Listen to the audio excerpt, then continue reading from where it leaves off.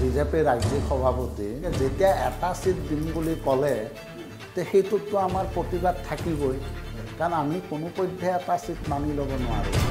বহুতে কয় যে অসম গণ পৰিষদৰ যি আঞ্চলিকতাবাদ আছে সেই আঞ্চলিকতাবাদ আৰু নাই। এডজাষ্ট কৰিব যাওঁতে সেইটো আপোচ বুলি কোৱা নহয়। এডজাষ্টটো অকল আপোনালোকে কৰিব লাগেনে কম্প্ৰমাইজ কিমান কৰিবলগীয়া হয়? মই কেতিয়াও কম্প্ৰমাইজ নহয়।